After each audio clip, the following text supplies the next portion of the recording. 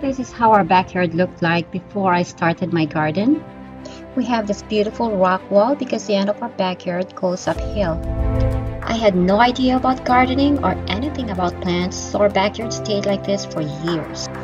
It looks empty and boring and one day I decided to add some charm and color to it by starting a garden.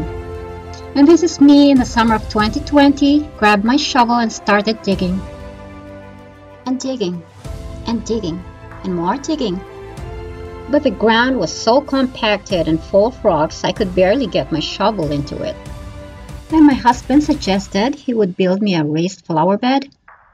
And here he is, he got to work right away spent all day in the garage checking for final adjustments and it's almost done.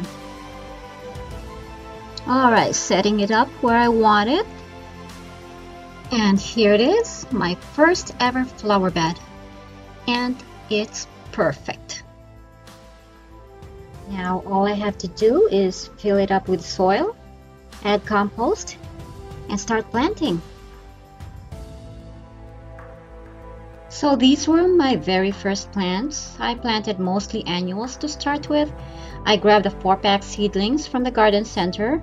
I had the red salvias, daisies, and dusty miller. I also got a couple of perennial salvias. And here they are in full bloom.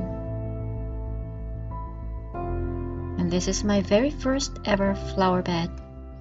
I'm so happy. Then I wanted some stairs to get to my bird feeders. Asked my husband if he could build me one. So the husband brought out his hammer one more time and started building the stairs of my trees. It's taking shape. Finishing touches. And there's my stairway to heaven. It's beautiful. And that's how it looks like at night with my solar lights. The following year, 2021, it will be my second year of gardening.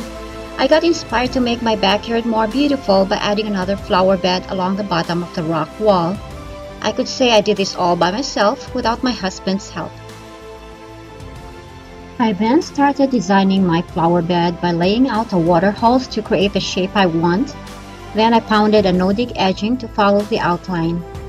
Went to Menards to get some rock borders and just joined them together within the edging. I also killed the grass in the bed by covering it with newspapers and pouring mulch over it.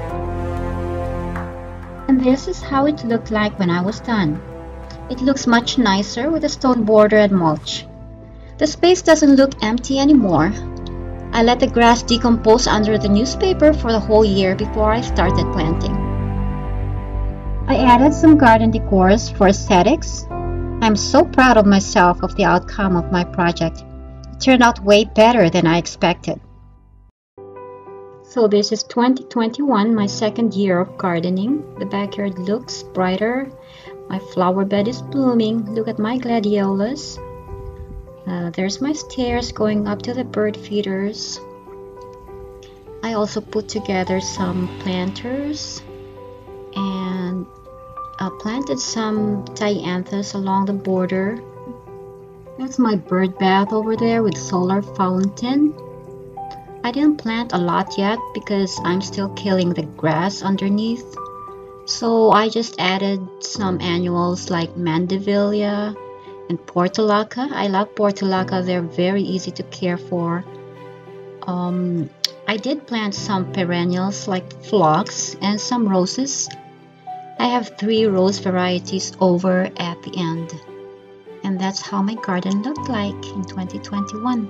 And I'm absolutely thrilled. This is my flower bed in 2022. Now this is the most current clip of my garden taken in 2022. My perennials came back and are filling up the flower bed. I'm loving how the garden looks like now. The dwarf reblooming lilac is looking pretty the honeysuckle really took off and the hummingbirds love it. I need to get a bigger trellis for it though. I have two kinds of clematis next to the honeysuckle. I think that red plant is lobelia.